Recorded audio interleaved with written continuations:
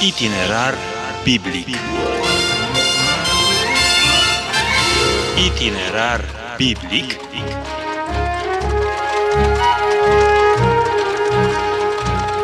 Itinerar biblic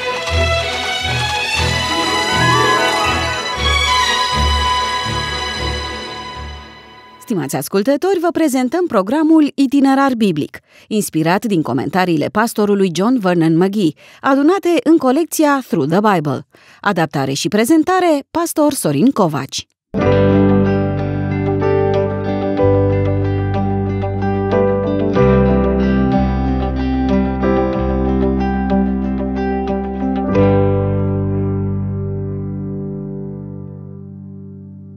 Dragi ascultători, este impresionant modul în care Dumnezeul nostru se apropie de noi, creaturile sale, oameni care nu avem niciun merit pentru a atrage atenția Lui. Este numai dragostea sa ceea ce îl determină să ne acorde atâta atenție, pentru că din pricina păcatelor noastre noi nu putem suporta prezența lui Dumnezeu, Domnul îngăduie o apropiere mediată, apropiere prin intermediul preoților în vechime și prin Domnul Isus astăzi. Domnul Isus este astăzi marele preot care face legătura dintre noi, oamenii, și Dumnezeul nostru. Este o mare binecuvântare pe care o avem să intrăm în prezența celui prea înalt, este o mare onoare ca cel ce ne introduce în prezența lui să fie Domnul Isus Hristos. Spuneam, dragi prieteni, că Domnul Isus este mare preot. Dar înainte de aceasta, așa cum am văzut, pentru poporul evreu, Dumnezeu a numit preoți pe Aron și pe fiii lui. Încă din capitolul trecut am descoperit care sunt veșmintele ce trebuia să îi distingă pe acești oameni de cei din popor. De fapt, era nu numai o uniformă aparte, ci fiecare piesă din echipamentul lor era o imagine a planului lui Dumnezeu pentru izbăvirea noastră de sub puterea păcatului. Suntem acum la capitolul 29 din cartea Exod și Dumnezeu continuă indicațiile cu privire la Aron și cei investiți ca preoți ai săi. Acest capitol nu este foarte interesant în ceea ce privește evenimentele istorice sau altceva de genul acesta, dar este un capitol prin care Dumnezeu ne comunică din nou informații cu privire la viața noastră marcată de păcate și nevoia noastră de iertare. Dar mai bine să vedem ce comunică cuvântul lui Dumnezeu în mod direct. Mai întâi, Dumnezeu vorbește despre consacrarea lui Aron și a fiilor lui pentru slujba de preoți ai săi. Iată ce vei face pentru ca să-i sfințești și să-mi împlinească slujba de preoți. Ia un vițel și doi berbeci fără cusur. Fă cu făina aleasă din grâu niște azim, turte nedospite, frământate cu un de lemn și plăcinte nedospite, stropite cu un de lemn. Să le pui într-un coș și să le aduci împreună cu vițelul și cei doi berbeci. Să aduci apoi pe Aron și pe fiii lui la ușa cortului întâlnirii și să-i speli cu apă sfințirea sau consacrarea, punerea lor deoparte, pentru că despre aceasta este vorba, nu este ceva ce o face omul pentru sine. Este inițiativa lui Dumnezeu și este acțiunea lui prin care el îl pune pe cel ales într-o poziție separată de păcat. Dragi prieteni, sunt două aspecte pe care este bine să le cunoaștem cu privire la sfințenie. Pe de o parte, sfințirea înseamnă poziție. Este vorba despre punere deoparte. În cazul preoților, această punere deoparte însemna, în ceea ce îi privea pe oameni, un statut special. Preoții aveau o condiție privilegiată. În ceea ce ne privește pe noi, sfințirea îmbracă și pentru noi această conotație referitoare la poziția pe care o ocupăm în raport cu lumea, cu păcatul. Crezând că jertfa Domnului Isus este aceea care ne eliberează de sub puterea judecății păcatului nostru, noi suntem strămutați, transferați în împărăția cerurilor. Deci, noi suntem scoși din domeniul stăpânit de Domnul Întunericului și separați, puși deoparte pentru Dumnezeul Slavei, Dumnezeul Universului. Aceasta este poziția pe care o ocupăm. Acum intervine un alt aspect legat de acțiunile noastre. În sensul acesta, sfințirea este un proces. Este un proces în care acțiunile noastre încep să se armonizeze cu poziția pe care o ocupăm. Este un proces pentru că dacă strămutarea nu se face după meritele noastre, ci după meritele celui ce a murit în locul nostru, Domnul Isus, faptele noastre sunt încă alterate de natura noastră păcătoasă. Din cauza aceasta începe acel conflict interior descris atât de bine de Pavel. El spune, binele pe care vreau să-l fac, nu-l fac, ci răul pe care nu vreau să-l fac, iacă ce fac. În cazul acesta, problema sfințirii devine una de predare, de cedare. Cedarea ceea ce este vechi pentru a primi ce este nou din partea lui Dumnezeu. Renunțarea la firea noastră, la natura noastră veche și coruptă și acceptarea regenerării pe care Duhul Sfânt al lui Dumnezeu o face pentru noi. Pentru că am ajuns la regenerare, trebuie semnalat faptul că nu este un concept nou. El a existat chiar și în această situație a dedicării preoților. Spălarea rituală nu era altceva decât un simbol al regenerării. În epistola pe care apostolul Pavel o adresează prietenului și colaboratorului său, Tit, el scrie așa. El ne-a mântuit nu pentru faptele făcute de noi în neprihănire, ci pentru îndurarea lui prin spălarea nașterii din nou și prin înnoirea făcută de Duhul Sfânt. Spălarea din acest pasaj are direct de a face cu regenerarea. Dar iată că hainele sunt confecționate, preoții sunt spălați, urmează ca ei să îmbrace haina preoției. Să iei veșmintele, să îmbraci pe Aron cu tunica, cu mantia efodului, cu efodul și cu pieptarul și să-l încingi cu brâul efodului. Să-i pui mitra pe cap și pe mitră să pui tabla sfințeniei. Să iei un de lemnul pentru ungere, să-i torni pe cap și să-l ungi. Să aduci apoi pe fiii lui și să-i îmbraci cu tunicile.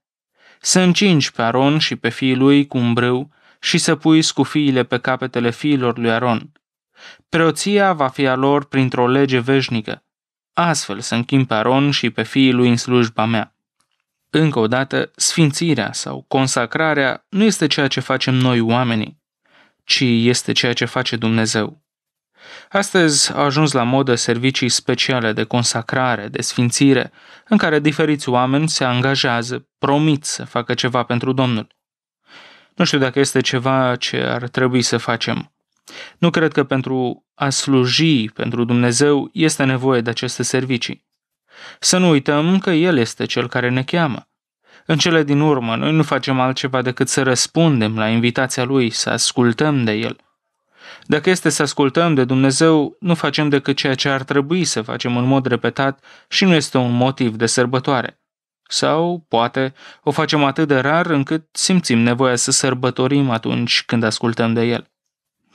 Cred că în consacrare trebuie să venim mai degrabă cu mâinile goale înaintea Domnului, mărturisind slăbiciunile noastre, mărturisind nevrednicia noastră de a intra într-o slujbă ca cea pe care El ne încredințează. Dacă citim rugăciunile unor mari oameni ai lui Dumnezeu, cum sunt Moise, Ilie, David, Samuel sau Pavel în Noul Testament și mulți alții, o să observăm că oamenii aceștia au venit la Dumnezeu nu pe baza ceea ce erau ei, sau abilităților pe care le aveau, sau a ceea ce promiteau lui Dumnezeu că vor face. Dumnezeu i-a chemat la slujbă pentru ceea ce au devenit ei prin ascultarea de El. Să mergem mai departe la un alt aspect legat de consacrare, jerfa.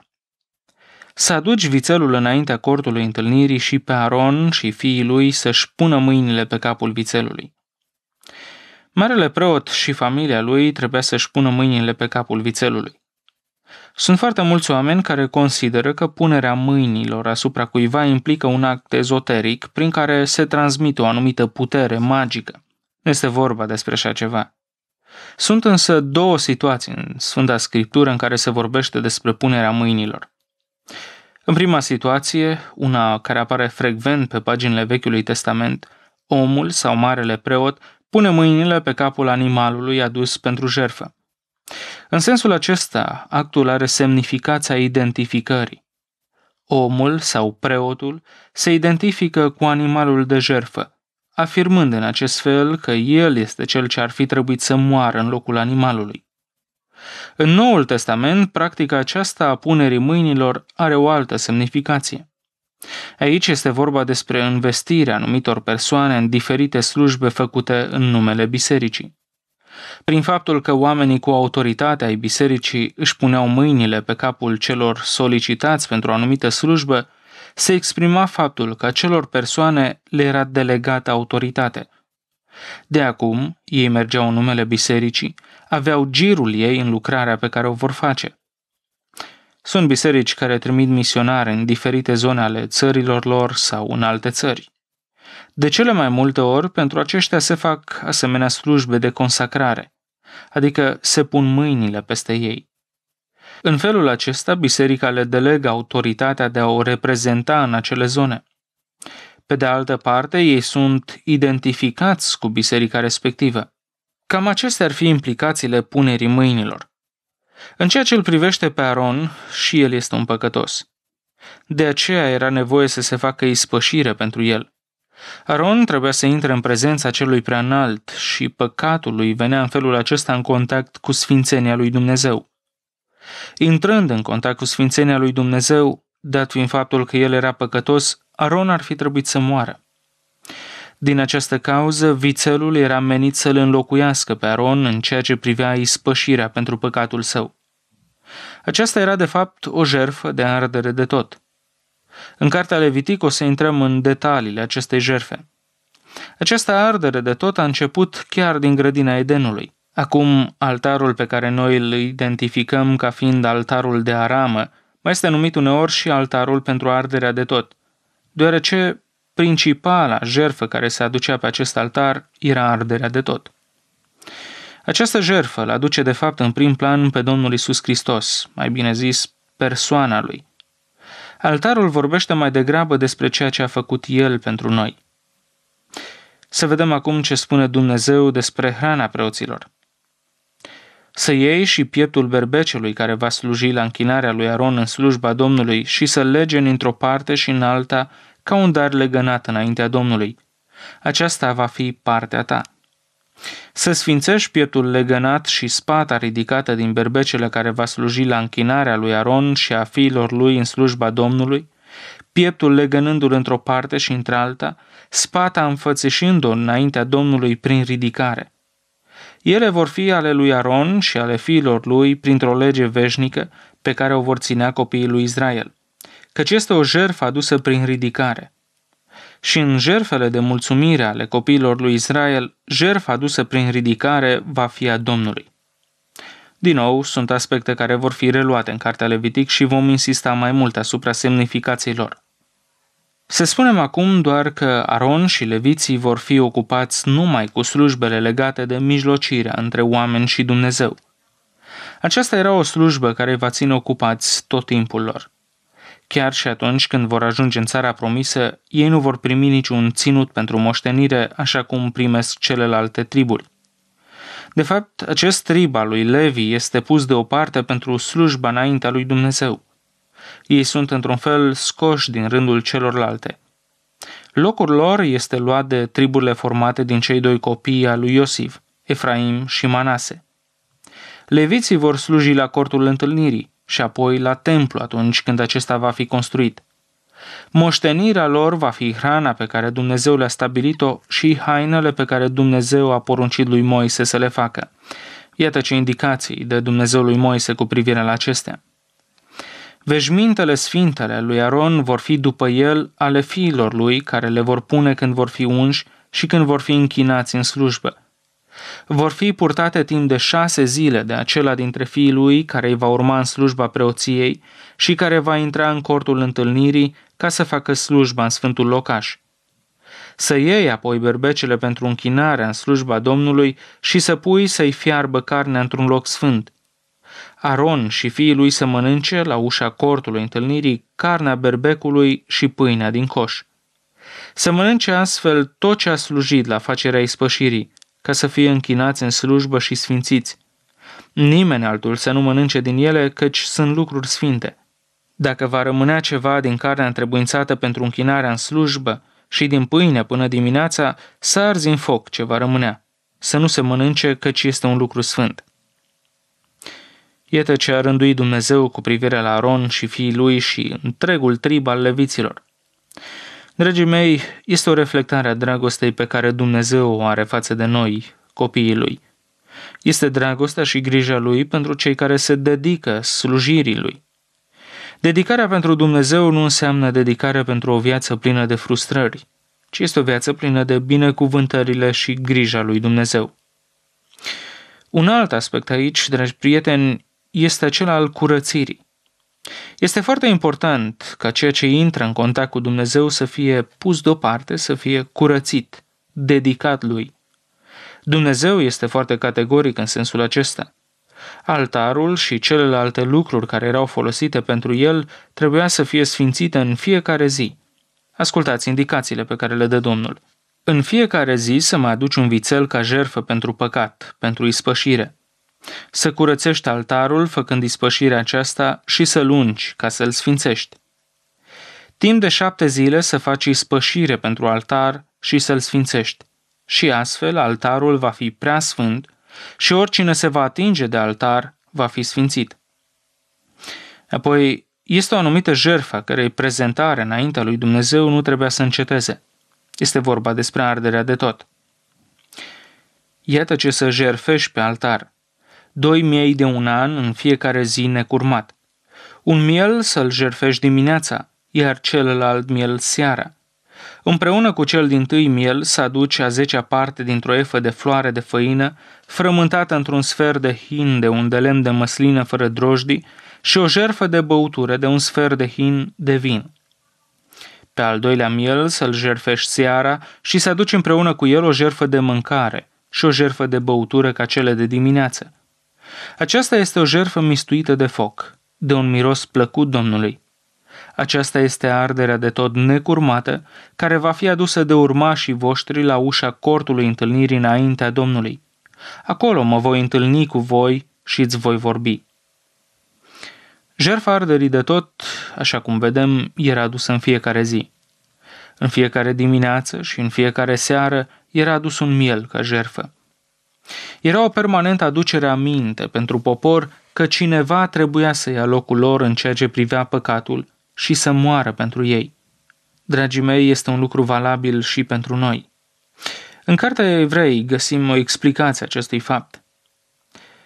Aici ni se spune așa, căci Hristos n-a intrat într-un locaș de închinare făcut de mână omenească după chipul adevăratului locaș de închinare, ci a intrat chiar în cer, ca să se înfățișeze acum pentru noi înaintea lui Dumnezeu și nu ca să se aducă de mai multe ori jerfă pe sine însuși ca marele preot care intră în fiecare an în locul preasfânt cu un sânge care nu este al lui, fiindcă atunci ar fi trebuit să pătimească de mai multe ori de la întemeierea lumii, pe când acum, la sfârșitul viacurilor, s-a arătat o singură dată ca să șteargă păcatul prin jertfa sa. Și după cum oamenilor le este rânduit să moară o singură dată, iar după aceea vine judecata, tot așa, Hristos, după ce s-a adus jertfă o singură dată, ca să poarte păcatele multora, se va arăta a doua oară nu în vederea păcatului, ca să aducă mântuirea celor ce-l așteaptă. Dragi prieteni, aceste icoane sau imagini ne comunică lucruri foarte importante. Aici nu este vorba numai despre ritualuri, ci este un limbaj pe care Dumnezeu îl folosește pentru ca evrei și noi să înțelegem lucruri extrem de importante în ceea ce privește viața noastră ordinul preoțesc, jerfele care trebuia să fie aduse ne vorbesc despre Domnul Isus și despre ceea ce a făcut El pentru noi oamenii.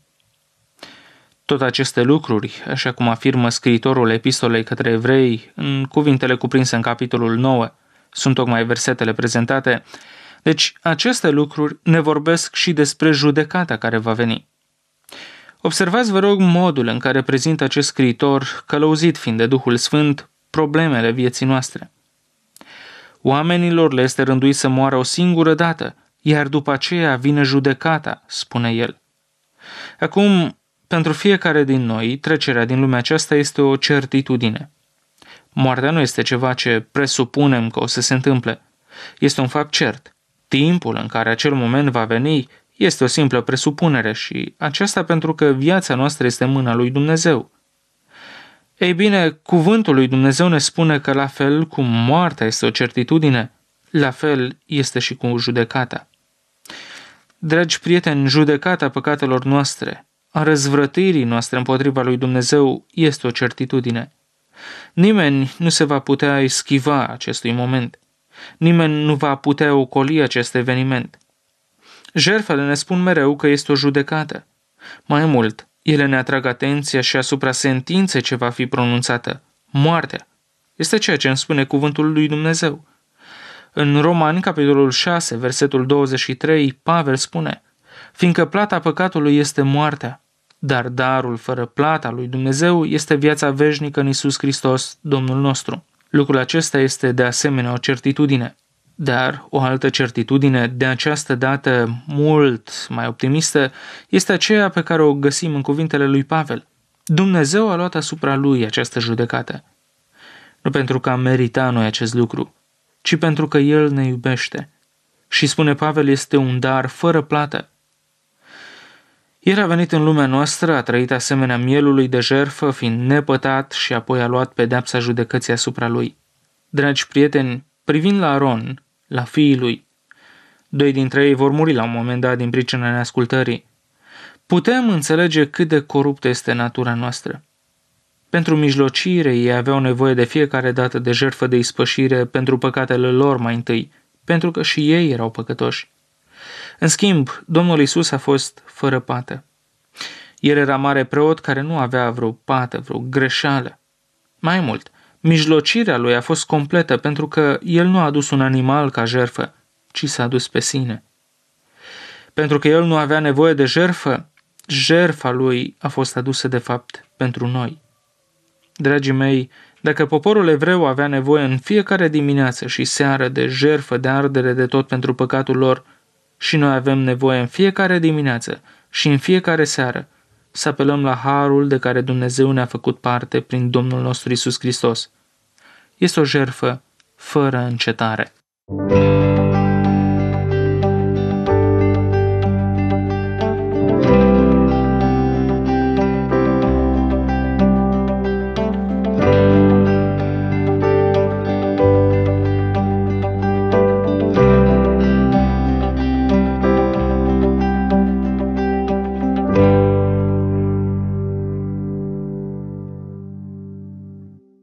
Aici se încheie episodul produs și pus la dispoziție de Transult Radio România.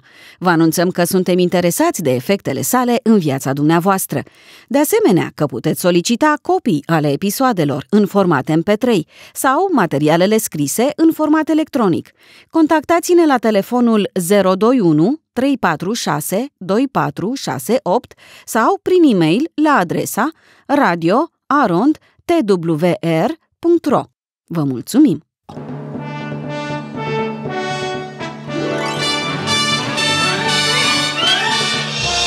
Itinerar biblic. Itinerar biblic.